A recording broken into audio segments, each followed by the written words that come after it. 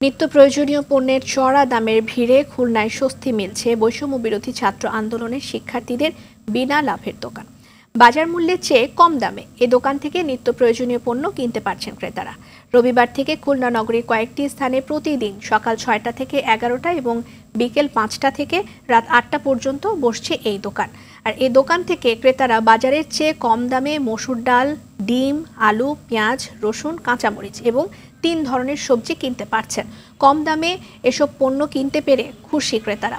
এদিকে বৈষম্য বিরোধী ছাত্র আন্দোলন খুলনার নেতারা জানান যে বাজার সিন্ডিকেট ভেঙে নিত্যপণ্যের দাম স্থিতিশীল রাখাই তাদের লক্ষ্য। নগরীর একত্রিশটি ওয়ার্ডে এ দোকান চালুর পরিকল্পনা রয়েছে তাদের।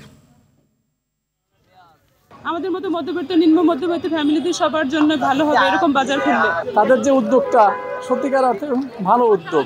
এটা করলে মনে হয় বাজারের ওরা যে দামটা ধরে থাকে সেটা থাকবে না কিছু কমে যেতে পারে আশা করি। শুধুমাত্র আমরা যদি বাজার মনিটরিংটা করি তাহলে ছাড়া সিন্ডিকেটটা ভাঙা আমাদের জন্য কঠিন হয়ে আছে। কৃষক লেভেল থেকে আনার চেষ্টা করতেছি। কৃষক লেভেল থেকে আনার চেষ্টা করতেছি এই জায়গায় আনলে আমরা অনেক কম দামে পাবো।